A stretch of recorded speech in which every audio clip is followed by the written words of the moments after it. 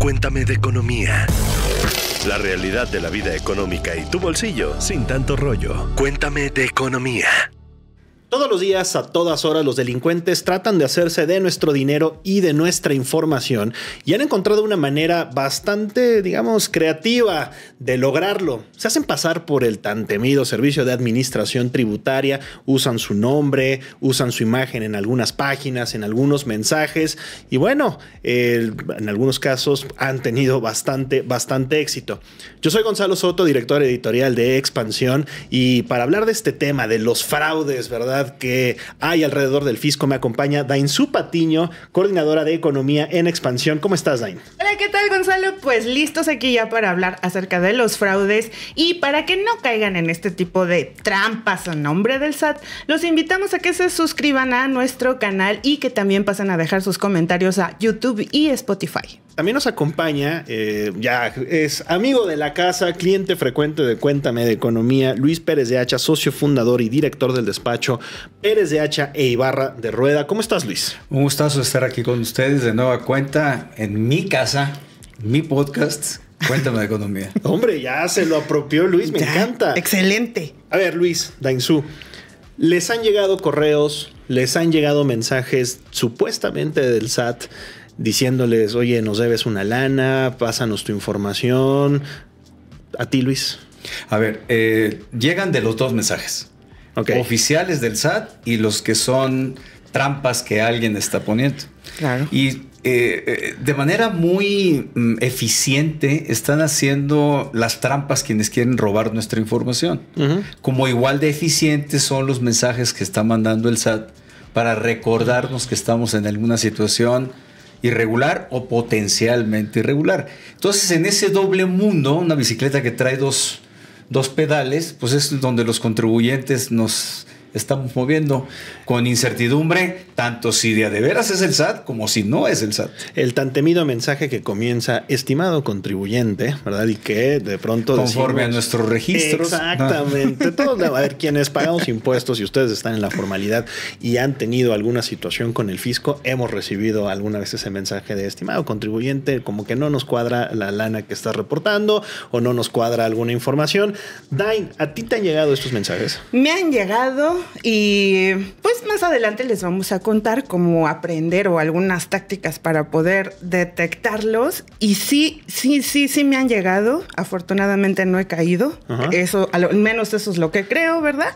Pero este, sí recuerdo también, por ejemplo, creo que fue tanto o que se vio tanto esto que, por ejemplo, en octubre del año pasado, el SAT mandó un boletín ya a toda la prensa para decir, oigan, sí, efectivamente está pasando esto, están mandando correos, hay perfiles falsos en Internet e incluso de WhatsApp. Oye, Luis, a ver, de alguno de tus clientes, de alguna de la gente con la que trabajas ahí en el despacho, cuéntanos un caso que para ti sea paradigmático, eh, que ejemplifique muy bien el riesgo que esto representa. Nada más deja mandarte un dato de contexto que es muy importante. El año pasado, es datos oficiales del SAT, eh, mandaron entre correos electrónicos oficiales y WhatsApp oficiales algo así como 53 millones de avisos el SAT. Mm. Es una cantidad muy grande. Esos, pues, mm, a ti de Insu te pudo llegar un correo electrónico y también te pudo llegar un WhatsApp. Claro, sí. Con el correo electrónico al rato veremos, hay forma de identificar. Con el WhatsApp no hay manera de identificar si efectivamente es el SAT. Sí, es el Ese es el punto.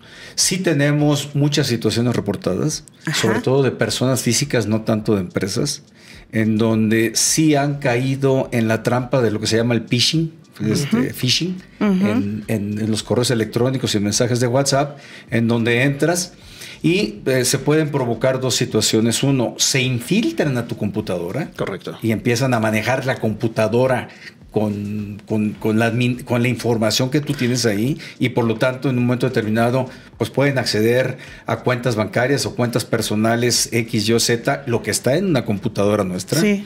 Y eh, también pues hay la posibilidad de que te roben información para que se pueda utilizar para otros propósitos, como extorsión o bien robo en cuentas bancarias. Sí hay casos familiares incluso en que han caído en la trampa Y varias veces eh, de los mensajes que a mí me llegan, pues a veces sí estoy tentado a darle, el famoso clic, ¿no? No, o sea, quieres saber más detalles de su situación o incluso también decía el SAT que habían llegado mensajes con ¿qué crees? Tienes un saldo a favor con nosotros. En noviembre. Pícale aquí. Sí, en noviembre, ¿no? Tienes un saldo a favor casi, con nosotros. oye, casi, casi este, para las compras navideñas. una rifa, ¿verdad? a ver, y a ver, creo que hay formas muy claras que se pueden evitar, ¿verdad? Eh, o hay algunas maneras de extorsión que son fáciles de evitar. Hay algunos eh, extorsionadores, hay algunos delincuentes que claramente no lo hacen muy bien, pero hay otros que sí, que utilizan correctamente los logos del fisco, que utilizan el mismo lenguaje de la autoridad, que comienzan, como ya mencionabas, ¿no? El, el estimado contribuyente de acuerdo con este, nuestra información, tal. ¿De qué forma, Luis, podemos detectar más fácil cuando se trata de un engaño? Eh, definitivamente, si es un correo electrónico, eh, eh, revisando la, dirección de la que Que casi nadie lo hace. Nadie lo hace. Es, realmente extraño. Recibimos y reaccionamos al mensaje recibido. Lo primero que hay que ver es la dirección arroba sat.gov .mx. Esa es la clave. Pero. Punto .gov con B grande. Con B grande. es que es para allá iba. Luego le ponen eh, eh, SAT mx.gov.mx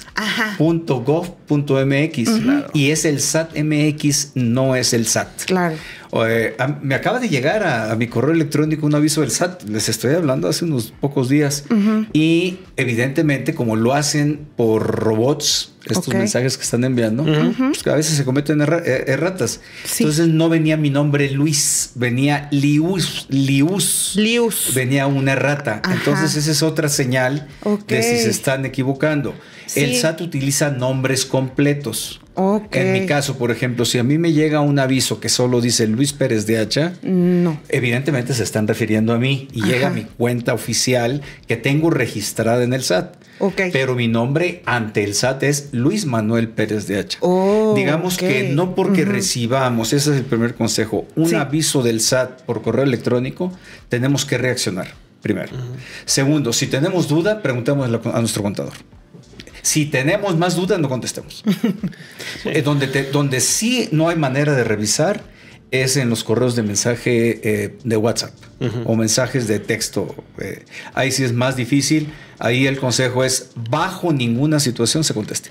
No, hay forma. Eh, ahí yo creo que las posibilidades de pérdida son mayores. Ahí yo creo que nuestros colegas de tecnología nos podrán ayudar a identificar quizá alguna u otra técnica, pero es verdad, en WhatsApp es mucho más complicado poder identificar una cuenta si es real o no es real. Por ahí hay algunas que son como verificadas, pero de nuevo, el SAT tiene su principal comunicación a través del buzón tributario, que es en donde 99% de los contribuyentes nunca entramos. Entonces, fuera de eso están los correos electrónicos. Pero bueno, ya habíamos hablado un poquito de esto en otro episodio, ¿no? Se llama, eh, un episodio que tenemos ahí en nuestra reserva, se llama Cuida tu dinero de los ciberdelincuentes. Ahí justamente para que este episodio con ese anterior haga match y ustedes se la sepan de todas, todas y de plano sí, no caigan en este tipo de cuestiones porque podemos perder dinero, información, los datos, que ya son, es como hasta, yo creo que hasta más valiosos todavía que el dinero, los datos, ¿no? En, en, nuestro, los, nuestros aplicativos, en el celular, el iPad o en la computadora. Pero fíjate, ahorita que hablas del correo electrónico, la forma eh, oficial que tiene el SAT para comunicarse con nosotros es el buzón tributario. Y nos llega un aviso de buzón tributario a través de WhatsApp, mensaje de texto o a través de correo electrónico, pero de nuestro buzón tributario. Sí. Lo que pasa es que el SAT cambió la estrategia, ya tiene algún tiempo, y está mandando de manera directa correos electrónicos y mensajes de WhatsApp. Es decir, lo está haciendo. como comenté en el inicio, es parte del problema. Eh, eh, esto eh, viene acompañado de otro problema.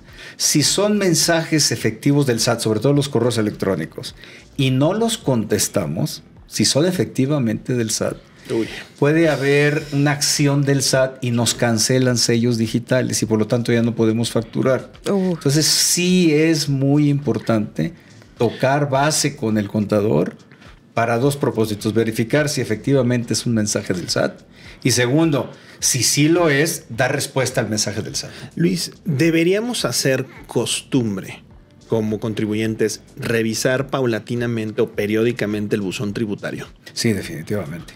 Yo creo que es un gran consejo estarlo revisando o si no lo estamos revisando, sí tener actualizados los medios de contacto. Acordémonos que el buzón tributario es una base, ¿no? Sí, sí. Si de ahí sale el aviso de nuestro buzón tributario, sale el aviso a correo electrónico que tengamos dado de alta y al celular que tengamos dado de alta. Ok. De hecho, las leyes dicen tienes que tener dos medios de contacto habilitados. Así es como deberíamos de saberlo. Pero si no los tenemos, hay que entrar al buzón tributario. A ti no te voy a preguntar lo siguiente, Luis, porque estoy seguro que la respuesta es esta misma semana. Pero Dainzu, ¿cuándo fue la última vez que revisaste el buzón tributario? Ah, en abril, que fue la presentación de la declaración. ¿Sí revisaste el buzón sí tributario? Lo yo, seré muy. Es creo que, soy de la mesa de economía y cubro fiscal. Tengo una responsabilidad. Tienes una responsabilidad, amigos. pero sí es excepcional el que entra a su buzón tributario. Yo, yo, voy a ser muy honesto y aquí ante nuestros podescuchas, a nuestra audiencia, le voy a decir. Creo que nunca me he metido al buzón tributario. Wow. nunca. Wow. Digo, no, pues es un tema. Eh, ahí tengo, Luis, eh, si quieres al final hablamos y me dices cuál es tu tarifa, ¿no? Este, para que, que me platiques. No, para los de casa, en este podcast es co completamente maravilloso. Problema está resuelto, querida audiencia. Ya, yo estoy Ay, a ver cómo lado. le hacen ustedes, ¿no? Ustedes a ver qué van a hacer. Ahí comuníquense con la gente eh, de Luis. Pero fíjate, además, conozco casos dramáticos en que por no revisar el correo fiscal. Aquí es donde empiezan los sustos. Se, les, se les van los plazos. Sí. Se les van los plazos para cumplir. Ajá. Se les van los plazos para atender auditorías. Se les van los plazos para presentar medios legales de defensa. Y contra eso no hay defensa. Es muy difícil decir que no me notificaron por buzón tributario cuando sí me buscaron. Hay otra posibilidad que también se presenta mucho. A ver. Eh, por ejemplo, en mi caso, mi contadora también tiene acceso al buzón tributario. Ah, para allá Entonces, vamos. sí, eh, hay, buen, hay buenos términos con el contador. Si es una buena contadora, contador, y es responsable, revisa uh -huh. el buzón tributario, uh -huh. pues bueno, yo estoy enterado, además de que yo lo reviso. Claro, claro. Pero se presentan muchas situaciones en que la responsabilidad profesional de los contadores, de las contadoras, no es del mismo tipo. Sí, claro. Entonces, no revisan, no avisan a, a, sus clientes, a los contribuyentes, y pues quedamos en falta. Y Total. estar en falta ante el SAT, pues tiene muchas consecuencias, ¿no?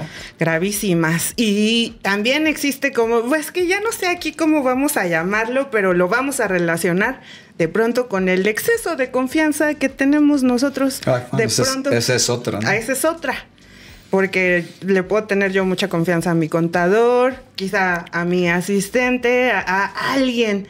Y que de pronto mi firma electrónica cayó con el contador o no sé, también de pronto en alguna nota Prodecon nos contó que había habido un caso de venganza entre exparejas al usar la e-firma. Hay, hay, de todo. Confírmanos de el chismecito. No, hay de todo. eh, a ver, una cosa es la e-firma o la firma electrónica avanzada. El Correcto. SAT lo maneja indistintamente y además la clave. Y que ahí yo se la doy a mi contador. O sea, que este es el medio por el cual yo puedo entrar al sistema del SAT, sí, es, ¿correcto? Es, es, muy común. Y presentar las declaraciones. Okay. Y hacer los pagos de impuestos. Y es que okay. se ha vuelto muy común, Luis, que por comodidad, cuando contratas un contador, Exacto. vas a hacer el trámite de la firma electrónica, sacas tu contraseña, tienes, digamos, toda la información del fisco y literal llegas y le dices, Luis, aquí está. Aquí, aquí está, está, mi alma. Y te desentiendes. Aquí está el USB en donde tengo la firma electrónica y esta es la clave que di. 1, 2, 3, 4, 5, 6, 7, 8, 9, 10. Es, no, Aquí está la clave. No me cobres SAT 1, 2, 3. Sí, eh, sí no me cobres SAT. y se lo das. Ahí lo que le estás dando son papeles en blanco. Total. Eh, cheques en blanco, papeles en blanco, firmados Oye, con tu ¿qué, firma. qué responsabilidad. A ver, ya que nos ponemos. No, y ahí hay historias de, de, de, de, drama, porque de, de, parejas y exparejas, bueno. Cuéntanos una de drama, de haberle dejado a alguien así la a firma ver, electrónica. Un buen amigo mío, abogado, eh, con discípulo en la universidad. Ajá. Eh, él eh, tenía su firma electrónica eh, avanzada, tanto de su despacho, una sociedad civil, uh -huh. como la personal, uh -huh. como la de varios de sus empleados, le tenía un contador público. Y el contador público, junto con las claves, y el contador público fallece. Fallece. No. Ok. Entonces, ¿qué había llegado al, al, al buzón tributario? nadie sabía. ¿Qué declaraciones habían presentado? Tampoco nadie sabía. Eh, y se dio cuenta porque el SAT le canceló sellos digitales. Entonces ya no pudo emitir facturas. O sea, por la profesión, para, para el sello digital, una de las condiciones es tenerlo vigente y activo para poder emitir las facturas, los comprobantes fiscales digitales, por internet. Entonces no sabía. Pero además de que no sabía cómo estaban presentados, le habían cancelado los sellos digitales y traía una auditoría que se le había practicado. Wow. Y en esa auditoría ya se le habían determinado responsabilidades. Mi amigo no sabía cuál era su fiel ni cuál era su clave. Y tenía que empezar de cero, pues yendo al SAT. Y todo eso toma tiempo y las contingencias. Se pudo solucionar, pero sí tuvo unos costos importantes. Luis, dos preguntas. La primera es, ¿Por qué siempre asustas a nuestra audiencia? Y número dos. No, a ver, vamos, vamos a cambiar el enfoque aquí. Yo lo que les estoy diciendo, pónganse abusados. Les cuento de economía y les cuento de casos fiscales para que, para que estén alerta. la, información. Pero sí, yo sé que de pasadita les doy un sustito, ¿no? los ejemplos, ¿no? Como que los chistes, las circunstancias, las anécdotas siempre se te quedan más grabadas. A ver, el, anecdotario es muy grande. Sí, más Porque, a ver, aquí hay un tema. Y, yo creo que sí vale la pena ponerle un poquito de calor al, al asunto para estar más atentos. Si nosotros nos dejamos caer en un engaño del SAT, vamos perdedores. Bueno, de un fraude. Correcto. Que se hagan pasar por el SAT, vamos perdedores. Entonces, aguas. Y si, por el otro lado, si nosotros estamos dando papeles en blanco con nuestra firma y estamos dando cheques en blanco con nuestra firma para efectos fiscales, pues sí nos tenemos que hacer responsables de lo que pasa, de lo que estamos haciendo. Y para mí eso es lo importante. ¿eh? Luis, déjame, nos quito a los contribuyentes tantita responsabilidad. ¿Debería la autoridad hacer más o algo distinto para evitar que existan tantos fraudes relacionados con su nombre? Yo creo que suspender todo lo que son los mensajes de WhatsApp y suspender los mensajes de correo electrónico. Para eso está el buzón tributario. Yo creo que es regresar a lo que marca la ley. Todo lo que son mensajes de WhatsApp y correos electrónicos no están previstos en la ley. Son situaciones de facto, es decir, de hecho que está utilizando el SAT para eh, tener mayor presencia fiscal que se le llama y sentirnos nosotros pues muy vistos. Y que, como lo comenté, se mandaron más de 50 millones de mensajes el año pasado. pues yo creo que son un promedio de 3.5, 3.8 mensajes eh, mensuales. Es un mundo. y a todas horas y, a todos, y, todos los días. ¿no? Y Dan, hay algunas cosas que el SAT no hace. Cuéntanos de eso. El SAT no te va a mandar un link para que revises que te diga, este fulanito de tal, este, nos debes, nos debes dinero, da clic aquí en este correo, eh, que está en este correo. No. El SAT te dice, visita tu, oye, este, descubrimos que tienes estas, estas alteraciones o esto que no coincide, por favor revisa tu buzón tributario. Correcto. El único portal oficial y al que ustedes tienen que meterse a dar información y que entran con una firma electrónica, con una clave, con un número de usuario otorgado por el Servicio de Administración Tributaria es www.sat.gov.mx. Gov con B de burro, con B grande, como le quieran llamar, y en este orden, .gov.mx. Y hay un buscador también de correos falsos por si ustedes tienen, les llegan esos correos. El propio SAT tiene un identificador de correos falsos, que nada más le ponen ustedes ahí en el buscador identificador de correos falsos del SAT y inmediatamente va a ser la primera opción que les va a salir y ahí ustedes introducen el correo eh, del el remitente del que les llegó, el correo y ahí los ponen y ahí el mismo SAT les va a decir qué tal, sí o no nos debes. Otra, otro punto importante, otra clave que debemos de tener en cuenta es que cuando son correos electrónicos, el SAT o nos, o nos llama a cita que va a ser en las oficinas del SAT. Correcto. O nos dice en dónde estamos irregulares y que por lo tanto le mandemos la información. Ok. En correo electrónico, cuando llega una liga, es una señal de advertencia de que aguas. No lo haga compa. No le vayas a hacer clic. Usualmente no es lo que hace el SAT. Oigan, antes de partir también, ojo, consideren, tomen en cuenta que el SAT no realiza subastas, no realiza ventas de bienes, productos, materiales, Casas. maquinaria pesada, casas, falso. Ese es uno de los más grandes mitos urbanos fiscales que hay en nuestro país, de que el SAT, aquello que embarga, lo termina revendiendo, eh, malbaratando en páginas de internet. Eso no existe por parte del SAT. Entonces tampoco caigan en esa, por el amor de Dios, y de verdad sean muy, pero muy cuidadosos con toda esa información. Una cosa muy importante a tener en cuenta es que eh, eh, siempre todos los contribuyentes, en mayor o menor grado, nos sentimos responsables o que tenemos, estamos en falta con el SAT en algo. Puede ser Sí. chiquito o grandote. Sí. Entonces, cuando nos llega el mensaje del SAT, pues, se junta el hambre con las ganas de comer. Ya me cacharon. Y ya me cacharon. ¿De qué? ¿Quién y sabe? yo creo que yo creo que es más, es más Sí. pausado, ¿no? Sí, es, sí, va- sí. es- es meterle pausa y vamos a ver de qué se trata. Sí. Y vamos a, a- a verificar primero que sea una cuenta válida y vamos a ir con el contador o con el profesionista que nos está asesorando para sacar adelante el tema, ¿no? Pues qué gran tema, sin duda, qué eh, buen episodio. Muchas gracias Luis por habernos acompañado. Sin duda, siempre es eh, reconfortante venir y escucharte, de verdad, de que todo va a estar bien. No, siempre es un gusto estar aquí con ustedes y sobre todo lo que procuramos con este tipo de conversatorios es ayudar Sí. a los podescuchas a que no caigan en estas trampas que se vuelven una calamidad, ciertamente. Totalmente. El robo de identidad es de los grandes temas en México que tienen que nos- nosotros tenemos que ser los primeros en cuidarnos, ¿no? Sin duda, sin duda. Dain, muchas gracias. Déjenos sus dudas en el cuadro de, en- de mensajes del YouTube, del Spotify. Siempre los leemos, tomamos sus consideraciones, sus propuestas de temas para abordarlas aquí en Cuéntame de Economía. Cuiden su USB con su firma electrónica y con su clave. Por favor, no se la presten a cualquiera. Tampoco la dejen en cualquier lado, aunque estén en pareja. Siempre confíen en ustedes mismos. Nada, Es que con la pareja es el crimen perfecto, ¿no? creo que sí. Sí.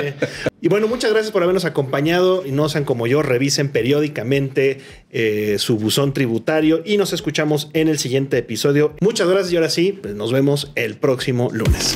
Cuéntame de economía, un podcast de expansión. Disponible todos los lunes en nuestro canal de YouTube.